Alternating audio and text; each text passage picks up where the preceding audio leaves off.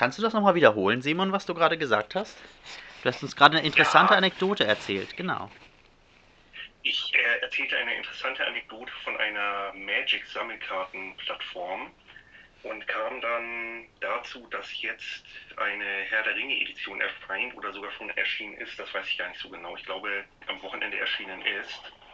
Also si- sind wir klar damit. Sobald diese Folge rauskommt, wird es schon eine Weile draußen sein. Das definitiv. Oh ja. Das definitiv. Ähm, ich glaube tatsächlich, dass dieses Sub-Franchise, unter dem diese, es gab auch eine Warhammer 40k Edition von nicht zu langer Zeit, Genau. unter dem diese ähm, Importe laufen, nicht Kanon sind im Magic-Universum. Aber man kann sie halt ohne weiteres neben Universumskarten spielen, Ja, das ähm, ergibt, was ich meine. ja, du, du, du, du meinst, man könnte in einer viel späteren Folge besprechen, was das mit dem Kanon der beiden Universen macht.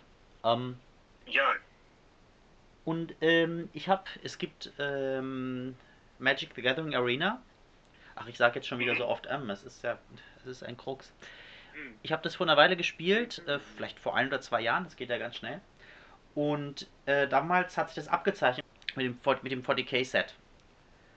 Und als jemand, der so ein bisschen vertraut ist mit dem 40k-Universum, äh, habe ich den gleich mir voller Entsetzen an den Kopf gefasst, weil ähm, ich meine, man kann das zu Spielzwecken machen, aber wenn man sich dann so ein ähm, Baneblade, also so ein futuristischer Superpanzer anschaut, äh, wie man den dann irgendwie zum Beispiel, also neben irgendetwas, also wie man, wie man irgendetwas aus dem 40k-Universum sinnvollerweise spielen kann, neben dann einem mit Speer bewaffneten Goblin oder sowas. ja. Ja, das ist, ne, das, das, da habe ich mit voller Entsetzen an den Kopf gefasst, wie, wie, wie das funktionieren kann. Und das ist tatsächlich in dem Sinne kein, kein Cross, es ist ein Crossover vom Inhalt her, aber die, die Dinge, die auftauchen in Magic the Gathering, sind äh, nicht die Sachen selbst, so wie ich das verstanden habe, die äh, auf den Karten äh, dann irgendwie abgebildet sind oder sowas, sondern also die Idee dieses Spiels ist nicht, dass du die irgendwie an sich da einsetzt, sondern äh, die Idee ist, dass du in Erinnerungen, du bist ein, äh, wie heißt das, ein Planeswalker und Ja. du, genau, du beschwörst ähm, Figmente deiner Erinnerung in ein magisches Duell. Das heißt, Aha. ja, genau, und das, auf die Art kann man das dann kommensurabel machen, weil man nicht tatsächlich diesen Superpanzer aus dem 40. Jahrtausend auftauchen lässt, der dann irgendwie gegen einen Goblin kämpft mit Speer. Ja. Ne, weil das wäre sonst ein großes Balance-Problem. Ne? Ich gehe davon aus, dass sie dem dann auch irgendwie so einstellige oder höchstens zweistellige Stats gegeben haben. Es gibt ja dann immer so zwei Stat-Werte. Ähm, und eine realistische Abbildung wäre wahrscheinlich dann gewesen, irgendwie der Goblin ist vielleicht äh, eine 1-1-Kreatur oder 1-2-Kreatur und der Baneblade-Panzer oder äh, was auch immer dann da auftaucht, wäre vielleicht dann irgendwie so im vierstelligen, fünfstelligen Bereich. Mhm. Aber da das nur alles Erinnerungen sind, sind die, ist jetzt unklar, wieso die so stark sind, wie sie sind, ne? wie das zustande kommt, ob das dann einfach deine Erinnerung multipliziert mit einer magischen Kraft ist oder wie auch immer. Das ist, glaube ich, nochmal ein komplizierteres Thema. Aber so kann man die dann nebeneinander auftreten lassen. Das sind einfach äh, Beschwörungen, die die Gestalt deiner Erinnerungen haben. Und äh, so, so passt das dann zusammen. Das kann ich, was das mit dem Kanon dieser beiden Universen macht, ist jetzt an sich nochmal, und ich hatte darauf schon mal, ja, glaube ich, bin ich schon mal eingegangen auf die Aussage, etwas sei nicht Kanon. Das, äh, ja, da habe ich so meine Probleme damit. Aber so nur, wie das dann zusammenpassen kann, ohne total absurd zu werden. Also entweder, dass das, äh, regeltechnisch und lore-technisch total auseinanderfällt, oder dass es eben sehr unbalanciert ist. Ne? So kann das funktionieren. Ja. Ja, das, das ist nur, das ist nur, weil mich, weil mich das auch sehr beschäftigt hat, dieses Crossover. Aber Herr der Ringe ist das, glaube ich, nicht so das Problem. Das bewegt sich ungefähr in dem Power-Level, in dem Magic the Gathering sich sonst auch bewegt. Ähm, Würde ich sagen. Da, da fällt dann Lore und, und Regeln nicht so sehr. Also wie habe ich das, wie, wie heißt das? Der Ludo, Ludonarrative Dissonanz ist da nicht so, ist da nicht so massiv. Aber ich fand das ganz elegant gelöst. Also ähm, Dissonanz ganz elegant gelöst mit dem, ja, man beschwört das ja gar nicht an sich, sondern man Ja. beschwört nur Erinnerungen dran. Und das finde ich eigentlich äh, eine eine schöne Lösung. Äh, es gab ja auch ein Dungeons and Ähm. Dragons Set. Ja, richtig, richtig. Ähm, so eine Secret Lair mit irgendwie Charakteren aus dem neuen Film. Aber das mit, diesem, mit dieser Planeswalker-Erklärung war mir tatsächlich gar nicht bekannt. Ich habe mit Magic angefangen, da stand im Regelheftchen irgendwie noch, man würde ein Magier, man wäre ein Magier, der Kreaturen beschwört oder irgendwie so etwas. Mhm. Das hat sich dann offenbar in den Jahren, seitdem ich angefangen habe, erheblich geändert. Ja, äh, ich, ich würde sagen, es ist nicht unbedingt falsch. Die, es, sind, es sind schon Kreaturen. Es sind, äh, es sind äh, inzwischen wurde es eben spezifiziert zu, es sind äh, nicht die Kreaturen selbst, die du gesehen hast, sondern es sind halt ähm, Ja. äh, Re, es sind halt Simulacra, ne? Kann man so sagen. Mhm. Ja. Ja, spannend. Ja. Ja, so. Nis fragte dich ja gerade schon, du hast off, off the record geantwortet. Wo bist du denn gerade? Magst du das den Zuhörern auch nochmal Ich erzählen? bin äh, in einem kleinen Kämmerlein, ähm, weil ich die dummerweise die 3 Euro extra für ein Fenster nicht bezahlt habe. Ich bin in Osaka in Japan wieder Ja. zurückgekehrt nach äh, langer, ich meine, es ist immer noch eine lange Reise, ne? Aber nach äh, bin in die Zivilisation zurückgekehrt, wenigstens. Und äh, ja, ja. Ähm, ja, und entsprechend ist es bei mir jetzt auch 3.15 Uhr. Ich bin erstaunlich munter. Ich habe jetzt gedacht, oh, das kriege ich nicht mehr hin, jetzt nochmal eine Stunde aufnehmen. Aber äh, da habe ich gleich meine Ohren gespitzt, als jetzt dieses Thema aufkam. Und jetzt bin ich wieder ganz, äh, ganz munter. Ja. Es gibt auch hier tatsächlich an jeder Ecke Ja, gibt schön. ja, an jeder Ecke gibt es auch Automaten, also mit, mit Kaffee und so, das ist ganz erstaunlich. Also wirklich, alle 10 Meter ist so ein Automat mit allen möglichen exotischen Getränken. Ich probiere die nacheinander durch. Meistens ist auch Kaffee da. Also wenn es zu schlimm wird, dann fahre ich kurz runter äh, zum Ausgang und gehe um die Ecke und hole mir einen Kaffee am Automaten. Das ist ganz praktisch hier. Ja, Ja, die, alles klar. ja, die, die legendären Unterwäscheautomaten habe ich noch nicht gefunden. Ähm, aber ja. Ach, schade. Das wäre nämlich meine nächste Frage gewesen. Ja, den, noch nicht, noch nicht. ja, das ist, das sind die Sachen, die NIS, glaube ich, die Stereotypen, die NIS mit Japan verbunden hat immer. Ähm, ja, Ich verbinde noch so viel mehr Stereotypen damit, Ah. aber das ist vermutlich eine eigene Folge. Ah, okay. Ja, ich meine, Anime passt ja dann auch so ein bisschen, äh, oder mehr als nur ein bisschen in unsere, in unsere Thematik. Habt ihr denn von dem, äh, nachdem Simon schon nach Literaturempfehlungen gefragt hatte, habt ihr denn äh, von den reichhaltigen Empfehlungen, die ich, äh, die ich dann äh, eingereicht hatte, was gelesen?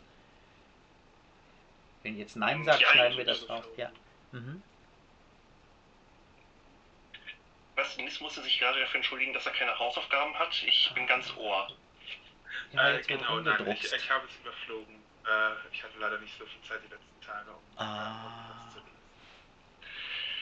Ja, bei mir war es tatsächlich kein Zeitproblem. Ähm, ich kannte Huodwin schon. Äh, ich habe jetzt nicht nochmal gesondert reingeschaut. Ich weiß nicht, ob der Diskurs sich, seitdem ich das letzte Mal reingeschaut habe, erheblich verändert hat. Aber im Kern ist mir das bekannt. Angeber. Mhm, komm doch her. Wenn wir jetzt schon hier diese, äh, oder Streber, wenn wir jetzt schon diese Schulen retten.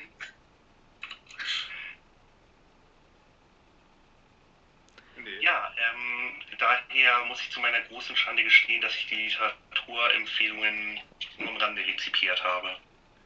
Ja, wofür mir das eigentlich, also, das waren ja nun zwei Beispiele, wofür mir Who Would Win halt ein, ein, ein Beispiel ist, und das ist jetzt ein bisschen facetious, aber ähm, ich finde das trotzdem in der Hinsicht interessant, also man, worum es da geht, ist ja, ähm, also es werden ja verschiedene fiktionale Universen verglichen, äh, im Grunde, also die, die Diskussion ist ja, ist ja immer, also um das mal so grob zu umreißen, das ist nicht grob, das ist im Grunde, worum es geht, also eine Person gibt, eine, gibt einen Prompt, der daraus besteht, äh, was würde passieren, wenn dieser fiktionale Charakter aus dem einen Universum auf fiktionalen Charakter aus dem anderen Universum, also literarischen, Film, ähm, whatever, Universum trifft, ähm, wer würde dann gewinnen? Das ist dann äh, auf der simpelsten Form ist es dann einfach, ähm, die schlagen sich und äh, wer, wer gewinnt da? Manchmal wird es dann auch exotischer, also wer würde irgendwie einen Kochwettbewerb gewinnen oder irgendwas. Mhm. Es gibt auch noch exotischere Kombinationen, auch mit Original Characters, wie zum Beispiel, wer würde gewinnen? Superman gegen einen Mann, der äh, normal stark ist, aber alle zwei Sekunden seine Stärke verdoppelt. Irgendwie solche Sachen. Okay. Ja, ich weiß nicht mehr, ob ich das jetzt genau wiedergegeben habe. Auch das kann man verlinken. Irgendwie etwas in der Art ist da neulich aufgetaucht. Oder, äh, ja, ein Grizzlybär gegen einen Gorilla und so. Ähm, und, äh, was. Hast du nicht irgendwie auf, äh, Einschlä äh, auf den einschlägigen TV-Sendern, äh, die so amerikanische Dokus früher immer gebracht haben, Oh, äh, so Viech äh, A gegen äh, Viech B, wer was würde gewinnen und dann irgendwie alle Ja, den kenne ich. Tiere. Äh, Den ich ich. weiß nicht, das vs. Giant Octopus. Genau sowas in die Richtung. Das ist dann irgendwie Das- auf äh, der deutschen Variante von Discovery Channel irgendwie Ah, okay. ab 22 Uhr lief. Keine Ahnung, ich habe das nie gesehen, ich habe immer nur Werbung dafür geschaut. Oder gesehen, auch nicht aktiv geschaut.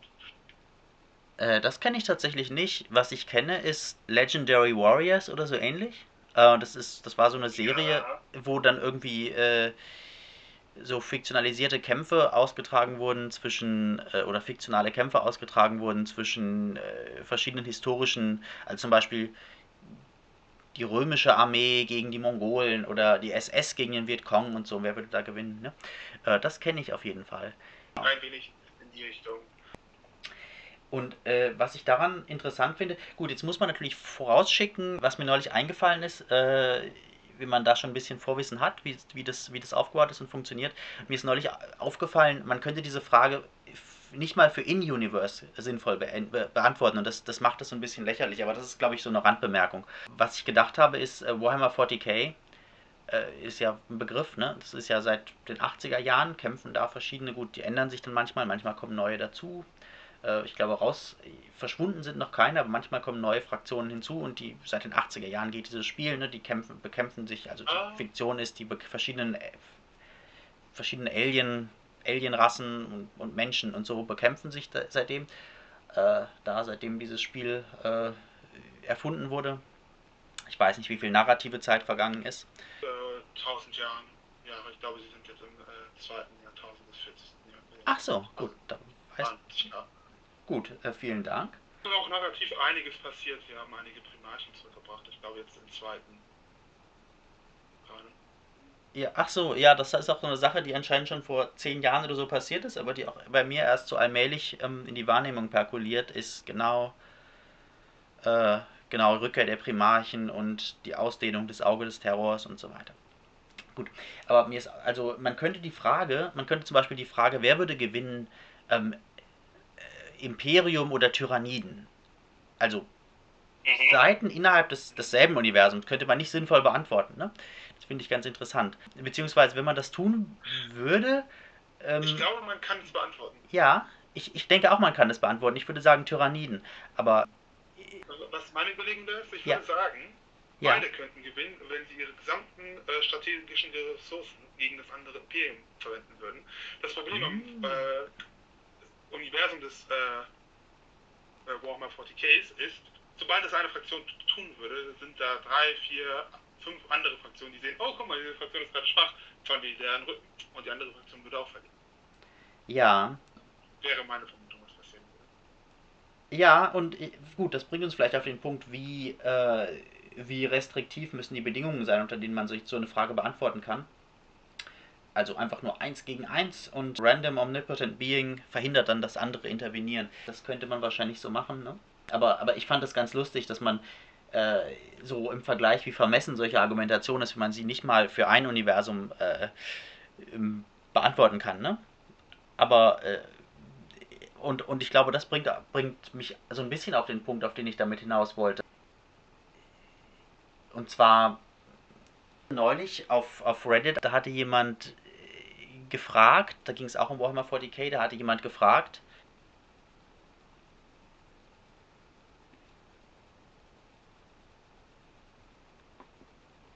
hm. Komisch, komisch. Findest du den Kommentar nicht wieder? Genau, ich finde den Kommentar nicht wieder, aber ja, ich hab's gleich. Ja, ich bin leider auf Reddit sehr aktiv. Ähm, Die haben so viele, so viele gute Frageseiten, also sowas du nicht wie. Blackout mit? Ähm, na, das hat mich ganz geärgert. Ich, hab, ich wollte was in Ask Anthropology fragen und dann war Ask Anthropology aber, aber down. Und äh, das hat mich ganz geärgert. Ich hoffe, Ich hoffe, die, der, das schneiden wir vielleicht wirklich raus. Ich hoffe, der als Strafe dafür, dass man mir, dass sie sich, äh, dass sie mir diese ganzen Frage-Antwort-Seiten vorenthalten. Ja, ich möchte gerne Sachen in Erfahrung bringen. Ich möchte, ich brauche jetzt keinen Blackout. Das hat mich so geärgert. Ja, aber der Blackout ist vielleicht dafür da, dass du in Zukunft weiter diese Fragen stellen kannst. Ja, ich meine, ich kann die stellen. Ich habe mit diesen ganzen, ich weiß es gar nicht, was das für Apps sind und so weiter. Dafür bin ich zu alt. Ich weiß nur, die da irgendwie drauf zugreifen und so. Ich benutze einfach das norma die normale Reddit-Website und die App manchmal noch. Deswegen. Ich kann diese Third-Party-Apps nur empfehlen. Okay. Ich weiß gar nicht, was die machen oder was das ist. Ja. Okay.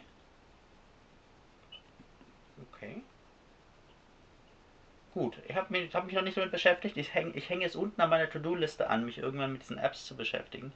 Äh, sofern sie Ja, dann nicht Ja, disabled sind. wahrscheinlich wirst du es Ende dieses Monats nicht mehr können. Ach so, gut, dann pushe ich das vielleicht auf der Liste. Es ist ja jetzt der, oh, schon der 21. Dann pushe ich das vielleicht nach oben. Habe ich noch eine Woche Zeit, das zu versuchen. So, wo ist Äh, der? Simon, hast du das schon mal versucht? Ähm, nee, tatsächlich benutze ich Reddit so, wie der Webbrowser mir das halt erlaubt. Ich Ah. bin aber auch nicht Auch noch mehr nicht so mal aus, Reddit? Nee, gar nichts. Hm, Also ich bin, muss sagen, ich nutze das auch nur, um Shadowrun-Diskussionen zu folgen. Das war's. ja, ähnlich ist es bei mir. Ich poste nur wieder auf Ask Literary Studies und sonst ist da nicht mehr so viel, das mich irgendwie interessieren würde. Ja, ich merke auch, ich merke auch mehr und mehr, ich sag mal so vor, vor, wann habe ich damit angefangen mit Reddit? Oh, ich war ein Late Bloomer, ne? Ich habe angefangen vielleicht vor, oh, vor acht Jahren, doch ist dann gar nicht so, gar nicht so spät. Ähm, und da war das irgendwie so ein ganz neues Universum für mich und da habe ich mich so gefreut, oh, so viele kluge Leute, die alle irgendwas zu, Kluges zu sagen haben. Und das gibt's auch. Es gibt immer noch Leute, die wirklich auch dann sehr ähm, insightful sind und so weiter. Und äh, Mhm. auch wirklich gute Beiträge schreiben. Aber das ist ähm, inzwischen mehr und mehr sind das so isolierte Instanzen, die man auch nicht unbedingt zuverlässig hervorrufen kann. Ne? Also es reicht nicht mehr, wenn ich in irgendeiner Frageseite irgendwas frage und dann kommen kluge Leute und erklären mir was, sondern das meiste, was dann gesagt wird, ist halt, entweder man kriegt keine Antwort, weil das, die Leute verstehen die Frage nicht oder äh, die ist zu kompliziert oder weiß ich nicht, oder es wird halt ähm, auch un, viel Unsinn geredet, ne? Weil die, ich glaube, ich weiß nicht, wer da antwortet, aber es sind wahrscheinlich dann auch so, ähm, äh, ja, junge Leute halt, ne? Also, vielleicht, ja, vielleicht Leute, die im Bachelor sind und so, gerade bei den Fächern, die mich interessieren, so Anthropologie, die, also für die, die mich zumindest auf Reddit interessieren, Anthropologie, Ethnologie und so weiter. Ähm, History, Ask Historians ist sehr, sehr gut. Das, da habe ich nie äh, eine schlechte Antwort bekommen. Ähm, das beeindruckt mich sehr, sehr. Was, aber das ist auch eine Erfahrung, die ich in meinem Geschichtsstudium gemacht habe. Also Historiker sind sehr, ähm, sehr gut in ihrem Fach. Aber die anderen Sachen sind halt, ähm, ja, ich meine, ich ist jetzt blöd, das wieder hervorzubringen, aber äh, es kommt, da kommt mir manchmal das ist dann doch stärker als ähm, die Faktizität, ne? Ist oft Oh. mein Eindruck. Ja. Schaffst du es überhaupt zu definieren? Ähm, i- möglicherweise, ähm, ich glaube, das ist das, was, was Wittgenstein Familienähnlichkeit nennt. Äh, möglicherweise, ich weiß aber nicht, ob das den Rahmen hier sprengt. Vielleicht machen wir eine extra Folge, die wird dann auch zur schwarzen Folge, wo ich, äh, wo ich Vogue definiere. Mal schauen. Ähm, aber das sprengt, glaube ich, jetzt hier den Rahmen. Aber ähm, ja, ich denke, es gibt so ein paar, so ein paar, ähm, wie soll ich sagen, Grundannahmen, die dann irgendwie, äh, mh, äh, ja, die dann, die, also ich, ich denke, Wokeness wird durch so ein paar Grundannahmen äh, definiert und der Rest der Wokeness ergibt sich aus Schlussfolgerungen aus diesen Grundannahmen. Damit, da sind wir schon im Grunde bei dem, was ich sagen möchte, wenn ich nur endlich meinen Kommentar finde. Also auf Reddit besuche ich ansonsten noch Slash Hamster. Da gucke ich mir süße Hamsterbilder an. Natürlich. Was würdest du Mhm. sonst tun?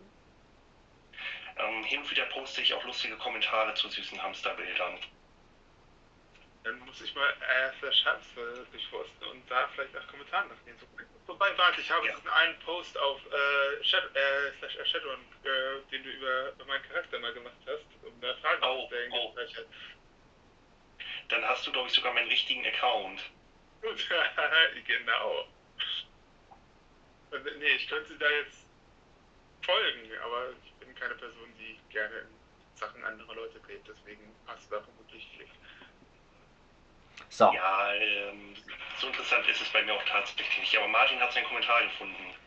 Ähm, die, äh, die Frage lautet, die Frage lautete, jemand in dem, in dem Reddit, äh, Subreddit 40k Lore, also ist ein äh, Subreddit zu äh, Fluff, 40k Fluff, gefragt hat. Die Frage ist ganz kurz.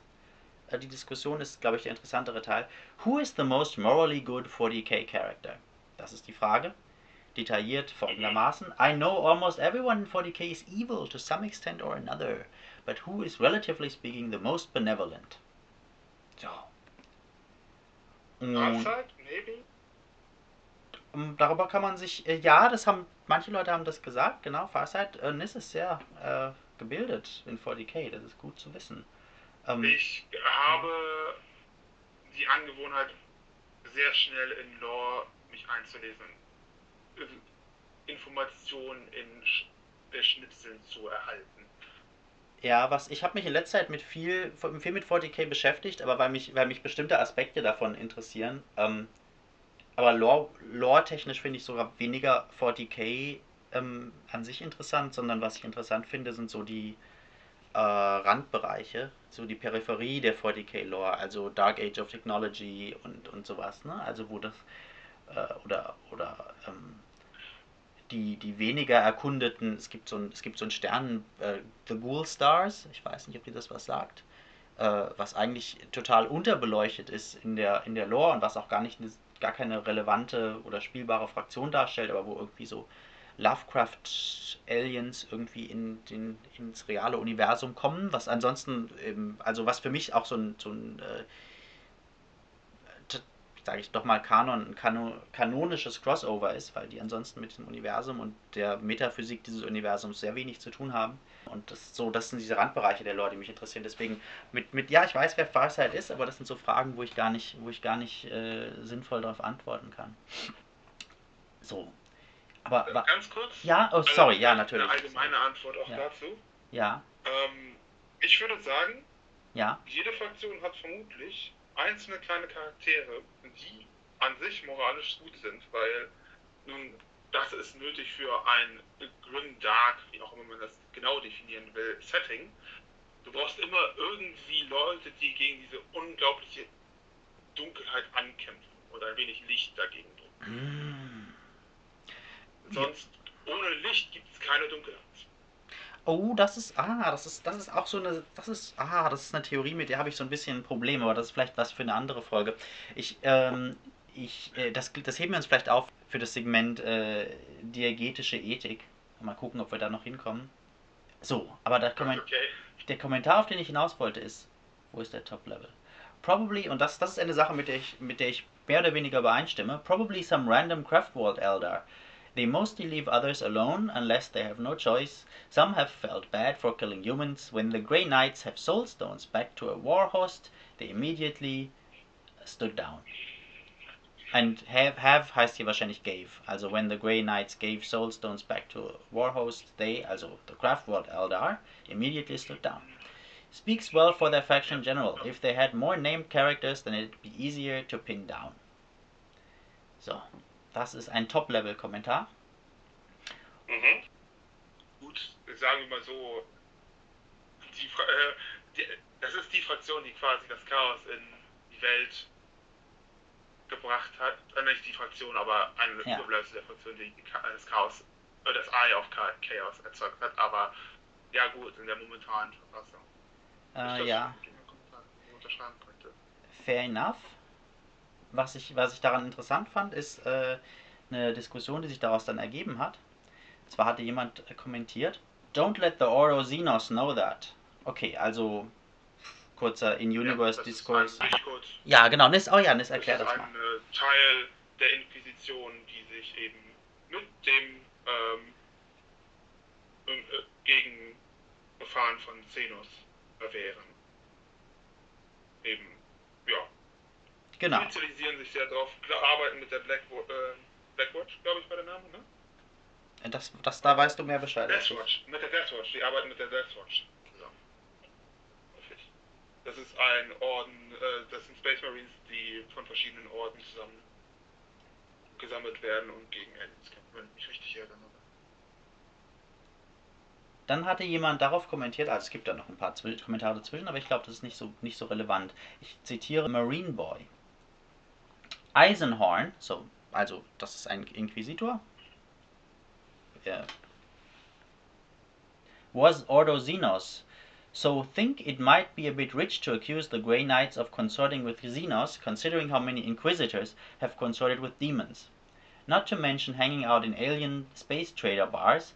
I've, I kind of feel like Black Library doesn't want doesn't want to be into the whole kill the Xenos thing these days, since it feels a little bit racist. I've read books where Caiaphas Cain was protecting Tau ambassadors. Eisenhorn and Ravenor really don't seem to mind aliens at all, and there was a Gaunt's Ghost book where they were fighting along Eldar against Chaos and some kind of Elder Warlock or Farseer was able to help. Ja, sorry für das ganze ähm, doch sehr äh, esoterische Vokabular hier. Äh, ist, äh, ja, ist in dem Universum äh, alles mit mehr oder weniger sinnvollen Bedeutungen belegt. Äh, where they were fighting alongside Eldar against Chaos, and some kind of Eldar warlock or Farseer was able to, to help a troop-sized detachment take on 50,000 Chaos cultists, and every single round and last shot missed. Thanks to Genzi, Genzi, it's only acceptable to kill Chaos worshippers these days, or seemingly mindless terrors like Tyranids. Killing vaguely humanoid aliens for a different skin tone or facial feature was okay in the 80s and 90s, but not anymore. Marine Boy, Nine Days Ago, minus 21 Punkte. Darauf antwortet Korax aus. Uh, I disagree massively. The rational races, Klammer auf, Imperial Humans, Craftworld Elder, Tau, Klammer zu, simply are trying to stay alive. The craft worlds aren't attacking the humans, so the stories aren't about that currently. Nothing to do with Gen Z, just they have bigger fish to fry. Gut. Okay, wow. Plus 10 Punkte. Ähm, dann zustimmend, Darth Good Guy sagt, Yeah, this Gen Z Callout is bizarre. Plus 14 Punkte. Jetzt kommt jemand sehr, sehr Kluges. Ich lasse mal offen, wer das sein könnte. Ne? Kommt jemand sehr, sehr, was sehr, sehr Kluges. Uh, well, there are diegetic reasons, but that doesn't mean that those diegetic reasons can't have extra diegetic ones. 40k isn't a simu simulation that's left running with fixed parameters, Klammer auf, at least outside actual gameplay, Klammer zu. The writers can decide what to write and to write things in a way that makes certain topics irrelevant to the story. I have no idea if the wokeness hypothesis you are responding to is correct and no real opinion on it, but those two aren't necessarily, necessarily exclusive. Um, plus zwei Punkte. Naja, gut, es war halt sehr, sehr weit unten in der Comment Chain. Korax aussagt, very good point. Gut. So, ich lasse mal offen, wer diese sehr, sehr kluge Person war, die jetzt da kommentiert hat. Ne? Man weiß es nicht. Ein Tipp an unsere Zuhörer, ich bin nicht in diesem Forum tätig. Ja, ich. Ich auch nicht. Oh, ja, das, das, ja, gut. Äh, sind ja viele Leute tätig, ne? Auch wenn ihr beide das nicht Ja, wart. richtig. Genau. Könnt ihr, könnt ihr Genau. alle möglichen Leute sein. So. Gut. Und das, aber das fand ich in der Hinsicht, das, das finde ich interessant, dass man, glaube ich, unterscheiden kann dazwischen, dazwischen, wie etwas geschrieben wird und ob das äh, und wie es sich aus den Parametern eines Universums entwickeln kann. Und ähm, eine ganz ähnliche Situation, die mich, ähm, die diese Person, die das, dieses sehr kluge Kommentar verfasst hat, wer das auch immer ist, ähm, darauf gebracht hat, ähm, das so zu sehen, war, das werde ich aber jetzt nicht en Detail vorlesen, weil ich mich daran noch mehr erinnere. Eine Frage, die jemand auf, auf Reddit gefra- äh, auch auf Reddit gefragt hatte in ähm, äh, Tolkien-Fans. Ähm, was ich ein bisschen irr, also ein bisschen irrig halte in der Location, das gefragt wurde, aber es war eine interessante Frage, nämlich was wäre, wenn äh, Gondor moderne Technologie gehabt hätte? Hätte man damit ähm, dann Sauron besiegen können? Äh, Und äh, was mir da so aufgefallen ist, ist, ähm, auch diesen Kommentar kann ich vielleicht verlinken, wenn, wenn äh, Gondor moderne Technologie gehabt hätte, äh, kann man, man kann die Frage, glaube ich, so stellen, was, wa- was wäre, wenn Tolkien das Buch geschrieben hätte unter der Prämisse, warum auch immer er sie annehmen sollte, dass äh, Gondor moderne Technologie gehabt hätte, oder man kann sich fragen, wie, kann, wie, wäre das, wie hätte sich das Universum verhalten unter seinen eigenen Parametern, wenn das so wäre. Ich glaube, das ist eine sinnvolle Frage, die man, die man sich stellen kann in Hinsicht äh, solchen What-Ifs. Ist klar, was ich meine? weil ich, ich glaube, wenn ich, wenn, wenn Tolkien, wenn, wenn der Herr der Ringe so geschrieben worden wäre, dass Gondor moderne Technologie hätte, wäre sie irrelevant gewesen. Wenn, wenn aus irgendeinem Ja. Grund äh, Tolkien das Setting so gemacht hätte, dass es im Wilden Westen spielt, wäre, äh, also Gondor ist irgendwie, da sind irgendwie Cowboys mit Pistolen und so weiter, dann wäre Mordor entsprechend angepasst worden. Ich glaube, nichts an Mordor ist zwingend auf dem Niveau, auf dem es ist. Auf dem technischen Niveau. Andererseits kann man sich natürlich fragen, wenn man jetzt sagt, diese fiktionale Welt ist irgendwie so stipuliert durch das, was er geschrieben hat und man ändert jetzt daran irgendwas, kompensiert dann, kompensieren dann die Features der Welt selbst diese Veränderung. Gerade bei Technologie ist es ja so eine Frage, weil Sauron ist ja, Nis korrigiert mich möglicherweise, aber so wie ich das verstanden habe, ist Sauron ja ein Small God der Technologie oder der äh, also Technologie, Wissenschaft möglicherweise, ne? so wie ich das verstanden habe. Aber und auch hier wieder Querverbindung vielleicht zu, zu Warhammer 40k, er ist kein, er ist nicht der, Ta der Chaosgott der, der Technik. Ne? Also man kann Erfindungen haben und so weiter, ohne dass, äh, dass Sauron davon profitiert oder irgendwie sie verursacht oder äh, dann zeitgleich, äh, also Erkenntnis hat von jeder Erfindung und jeder Technologie, die gemacht wird. Ne? Also er ist eine Metapher, aber er ist keine Metapher, die im Universum äh, das äh, umfasst, wovon er eine Metapher ist. So würde ich das mal sagen. Ähm, und ähm, da habe ich, hab ich gedacht, äh, ein Universum kann Features haben, die in es selbst hineingeschrieben sind, dass solche Veränderungen kompensiert. Das könnte ja zum Beispiel sein, Sauron ist der Chaosgott der Technik. Und wenn irgendjemand was erfindet, wie zum Beispiel die Schusswaffen, dann passiert das, ähm, dann ist seine, eig seine eigene, sein eigenes Idee haben ähm, ein Aspekt davon, dieser, äh, dass diese Erfindung gemacht wird, aber der andere Aspekt ist, äh, irgendwo ist auch ein, dieser Chaosgott, der das zeitgleich dann äh, verursacht oder äh, bekommt. Und ich glaube, das ist eine, eine Sache, die man sich, wo man fiktionale Universen vielleicht, vielleicht äh, unterscheiden kann oder vielleicht an, ähm, vergleichen oder, oder, ähm, oder messen kann, inwiefern ihre in sie hineingeschriebenen Eigenschaften äh, Veränderungen kompensieren können. Solche What-Ifs. Ähm, in der Hinsicht, also zum Beispiel Herr der Ringe, ich bin mir sicher, dass der Herr der Ringe, wenn er geschrieben worden wäre, das kompensieren würde, aber nicht wegen seiner eigenen Nomologie, sondern wegen, der, wegen dem Eingriff des Autors. So würde ich das sagen.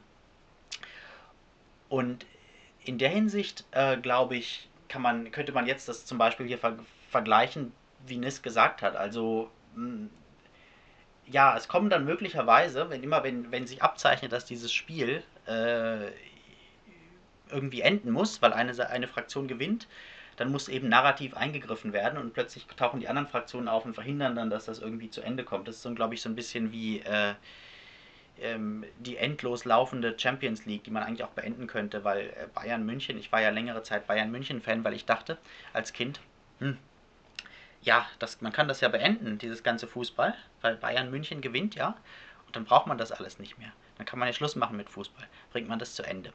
Ich glaube, so ein bisschen äh, funktioniert das hier auch. Also natürlich geht das nicht zu Ende, ne? Also natürlich wird dann immer narrativ eingeschritten und ähm, dann kann man die Frage, wer würde gewinnen, nicht sinnvoll beantworten unter, äh, unter der narrativen Intervention sozusagen.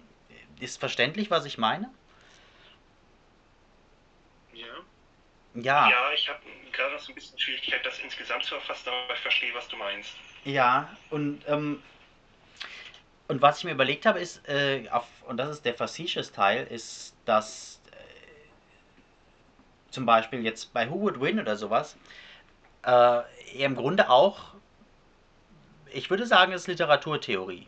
Also es ist Literaturanalyse. Es ist Erkenntnisgewinn über Literatur oder möglicherweise auch andere fiktionale Werke. Ähm, weil man sich ja schon überlegt, was folgt aus den, was folgt aus den Prämissen einer, und da kommt das jetzt so ein bisschen zurück für mich auf die Frage, was ist die Abgrenzung zwischen Kunst und, und, und Wissenschaft. Natürlich würde sich die akademische Ja. Literaturwissenschaft nicht damit beschäftigen. Ähm, wer würde, würde Superman gegen Hulk gewinnen? Aber ähm, ist das mehr oder weniger Erkenntnisgewinn als ähm, wir haben ja schon etabliert jetzt, wir können davon vielleicht wieder abgehen, aber wir hatten es in den letzten Folgen etabliert. Ähm, Literaturwissenschaft ist äh, die Erzeugung gewisser äh, oder nach die Erzeugung von Metaphern nach gewissen Regeln. Ich glaube, so hatten wir das festgehalten. Ähm, ist das jetzt mehr oder weniger Erkenntnisgewinn, als zu sagen, aus den Parametern von Hulk und den Parametern von Superman in ihren jeweiligen Universen folgt dieses oder jenes äh, Resultat? Ich weiß es nicht. Man würde sagen, das ist natürlich Kunst. Äh, vielleicht mehr. Ich weiß nicht mal, ob das. Also ich würde sagen, Who Would Win ist Kunst. Wenn da jemand einen Post schreibt, ich würde sagen, das ist Kunst. Auf, vielleicht auf niedrigem Niveau, aber was soll es sonst sein? Ne? Aber ist es nicht auch Erkenntnisgewinn? Und könnte man sich dann nicht fragen, und dann bin ich auch wirklich fertig, könnte man sich dann nicht sinnvollerweise fragen, ähm, weil das ist so ein bisschen die Herangehensweise, die ich habe an, an Schreiben, ähm, wenn ich aus den Parametern meiner eigenen fiktionalen Welt äh, generiere, äh, das generiere, was, was eben aus ihnen folgt, ist das dann nicht auch mehr Wissenschaft, als, als dass es Kunst ist? Und, und, und das ist so eine Sache, die ich mich gefragt habe. Also natürlich ist das meiste immer noch ausgedacht, aber ist da nicht auch ein Element von, ähm, ich glaube, Patterphysik ist der Begriff. Sagt das jemandem was? Äh, Alfred Jardy, oder? Oh, genau.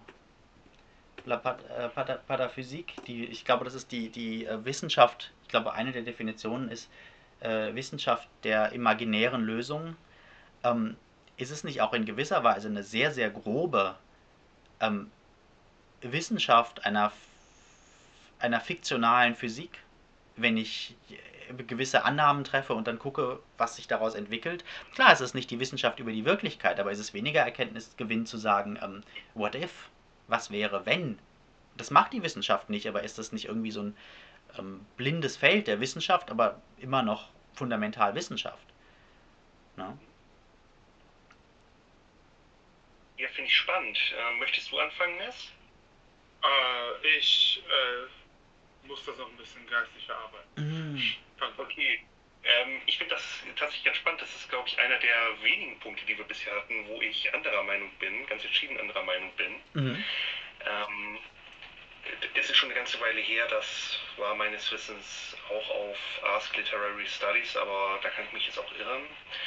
Da ging es um beziehungsweise die Frage wurde gestellt von einer, ich meine, jungen Studentin, die Anglistik oder irgendwie so etwas studierte und meinte, dass es doch viel schöner wäre, sich auszumalen, wie die Geschichten noch hätten enden können. Also was für ein Ende könnte man sich noch für Madame Bovary denken, war, glaube ich, ihr Beispiel. Und dass das doch eigentlich Literaturwissenschaft sein sollte und auch viel schöner wäre, viel mehr Spaß machen würde oder irgendwie so etwas. Also es ist echt schon viele Jahre her, wie ihr merkt. Ähm, und natürlich ist es auch schön, ich meine, das ist wahrscheinlich auch einer der Gründe, weswegen es so viel Fanfiction gibt. Die Menschen haben eben Spaß daran, in etablierten Universen herumzuspielen, nenne ich es mal. Und in gewisser Weise ist das natürlich auch ein Erkenntnisgewinn. Also wer würde gewinnen, Son Goku oder Superman? Aber was für Erkenntnisse werden da gewonnen? Du hast es ja schon eingeschränkt, es sagt wenig über die reale Welt aus, wenn man jetzt weiß, dass Son Goku gewinnen würde. Aber äh, können wir übrigens auch mal diskutieren, ich bin wirklich der Meinung, dass Son Goku gewinnen würde.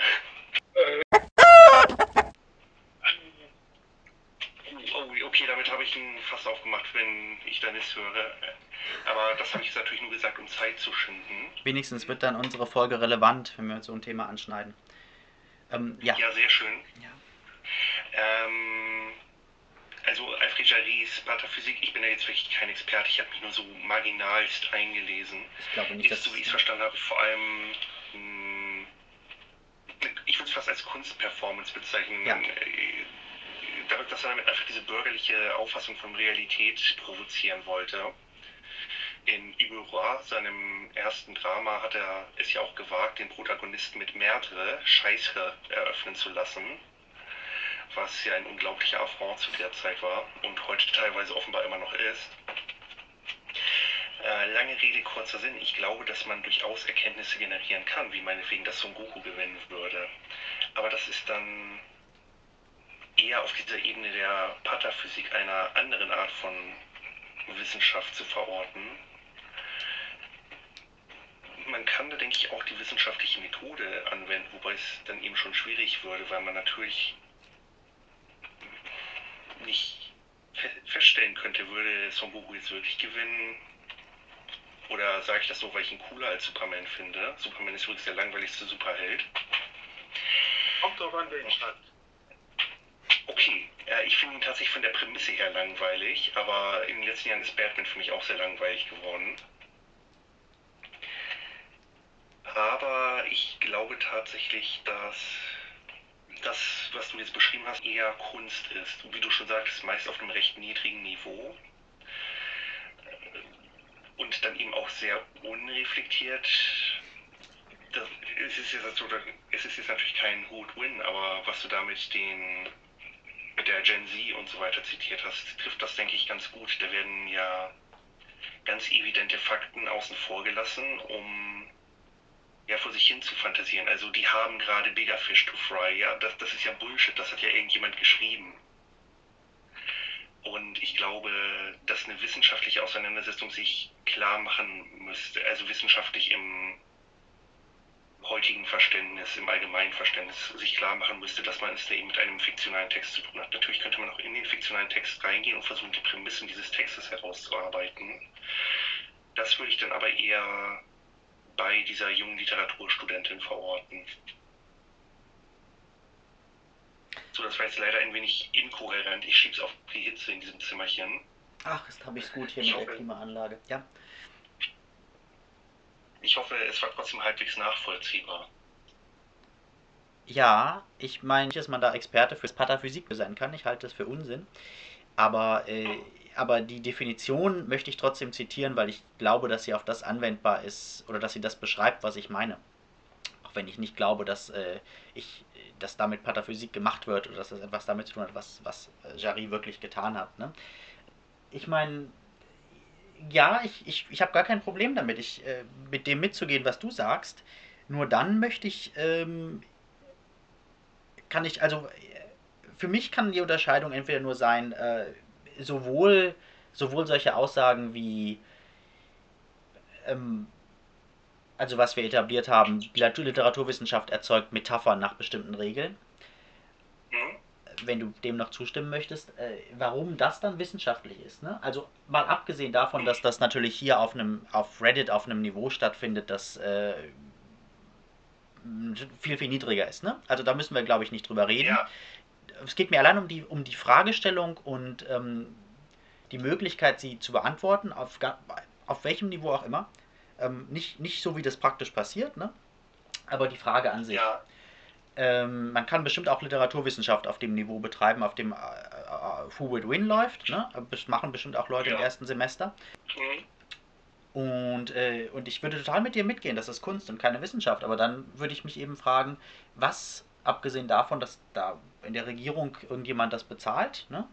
äh, und es an den Universitäten in der Fakultät stattfindet, was macht, es, macht, die Literaturwissenschaft dann eher zur Wissenschaft und nicht auch zur Kunst? Ne? Das ist so die, die Ja. Kernfrage, die ich habe. Äh, ja.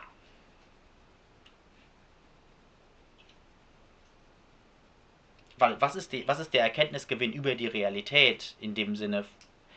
Äh, Ich meine, natürlich kann man sagen, eine Metapher ist nicht diegetisch, ne? Natürlich. Also, äh, Ja. wenn das, das, das, das sei dir unbenommen. Wenn, wenn das dann eine Unterscheidung ist zwischen Kunst und Wissenschaft, einfach zu sagen, ähm, naja, die Metapher, um die Metapher festzustellen, müssen wir kein fiktionales Universum erzeugen. Ne? Gut, fair enough. Äh, Gut, das ist die Frage, dann ist das eine Unterscheidung, die ähm, einen Unterschied macht. Meine Herangehensweise war eben, in beiden Fällen wird, äh, wird Wissen über einen Text oder in einem Fall sogar über mehr als einen Text äh, generiert. Ne? Ja, Ja. Ja. Und klar kannst du sagen, das ist, das ist die Unterscheidung, die du machst. Die Unterscheidung ist ganz einfach, das eine kann nur in Dieget irgendwie in der Diegete stattfinden, aber die Metapher ähm, existiert. Also das, was die Metapher ist, existiert, ist ja nicht selbst eine Erzählung. Ne? Es wird ja nicht erzählt, das ist eine Mhm. Metapher. Ähm, ja. Ja, guter Punkt. Ähm, Und in gewisser Weise kann ich dem auch so erst einmal nichts entgegnen. Natürlich gäbe es diese Möglichkeit der Unterscheidung der diegetischen Metaphernproduktion. Das ist mir aber ehrlich gesagt ein bisschen zu bequem. Ich glaube, da steckt noch mehr hinter, wenn ich da nur tiefer grabe. Mm. Mm, hast du aber natürlich recht. In gewisser Weise werden in beiden Systemen, wenn man es jetzt mal mit Luhmann ne, sagen möchte, Metaphern produziert. Natürlich von einer unterschiedlichen Qualität und unterschiedlichen Wertigkeit, aber das Endergebnis ist im Grunde das gleiche. Ich würde allerdings sagen, dass das ist jetzt so aus dem Bauch ausgesprochen und das können wir dann vielleicht in der nächsten Folge aufgreifen, wo ich mir dann Gedanken gemacht habe, dass die Literaturwissenschaft einen breiter gefassten Anspruch hat als die Regeln verschiedener Diegesen nachzuzeichnen. Wie es dann ja bei Win wäre, darauf läuft es meines Erachtens hinaus. Also Son Goku hat die Genki Dama, Superman kann den Planeten aber vorher in die Sonne schmeißen oder whatever. Genau, das ist, genau, das wäre, so würde das gut gemacht werden, genau. Ja.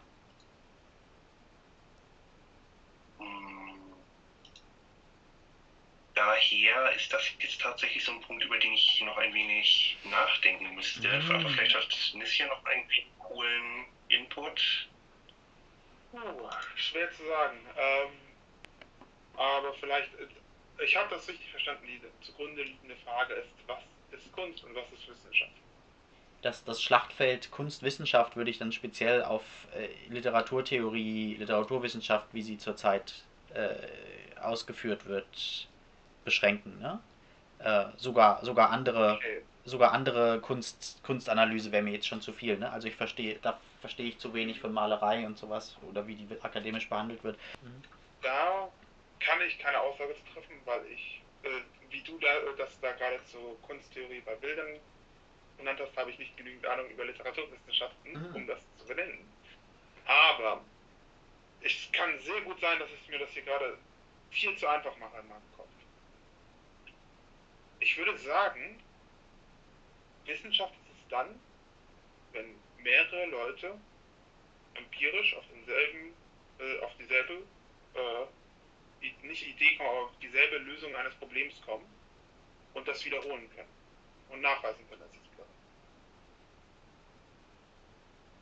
Ja. Das ist eine, glaube ich, sehr naturwissenschaftliche Sicht auf diese gesamte Sache, wie sehr sich das auf dieses Problem anwenden lässt und wie sehr es bei Literaturwissenschaften hilft, ist eine andere Frage, aber das ist jetzt so das, was mir gerade als erstes in den Kopf gekommen ist.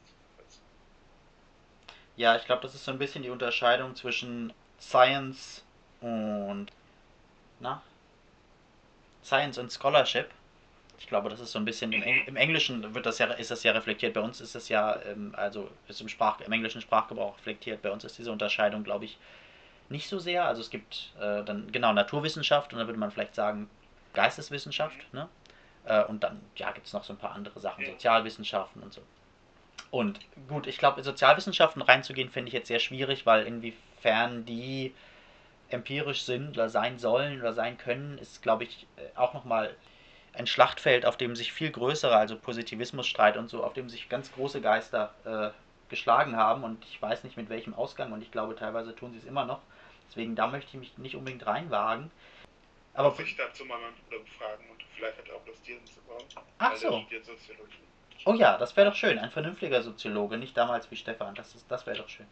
Ähm, oh ja, äh, ja, ich habe ja, ich hatte ja einen Dozenten von mir noch angeschrieben, der war auch am Anfang sehr begeistert, aber jetzt antwortet er nicht mehr. Ich weiß nicht, was passiert ist. Ich habe ihm die Links. Ja, ich hatte ihm die Vielleicht Links. Hat sich Folgen uns angehört. Ja, ich glaube nämlich auch. Ich habe ihm die äh, Links, Links geschickt. Ich glaube, da war der Fehler.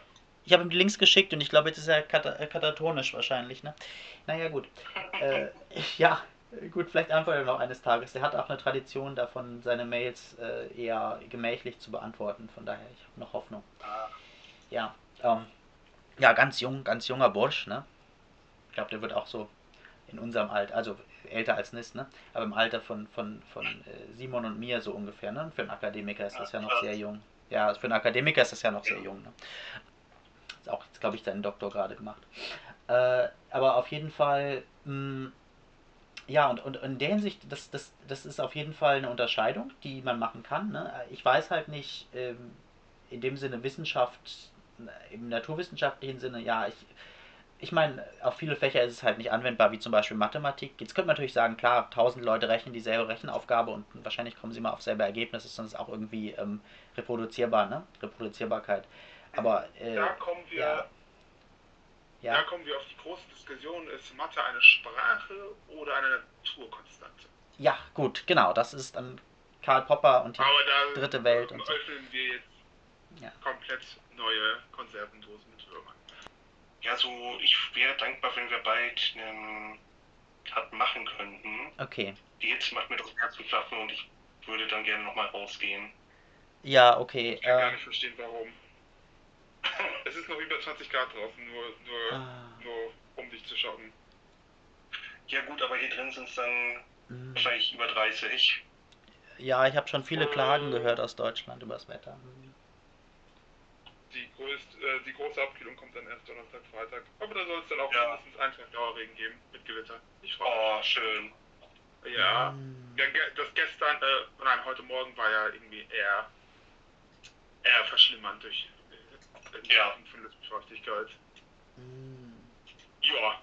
Ja, dann, dann finden wir vielleicht schnell ein Ende. Äh, aber ja, aber ich meine, das, das ist ja, das ist ja schon fast, das, das würde ich zumindest ähm, der Überlegung über fiktionale Universen auch zuschreiben. Ich meine, das Problem, das wir haben, ist natürlich, dass sie nicht vollständig, äh, dass sie nicht ontologisch vollständig sind, ne? Also oder sogar ontologisch widersprüchlich, aber dann würde ich sagen, man redet von verschiedenen Universen.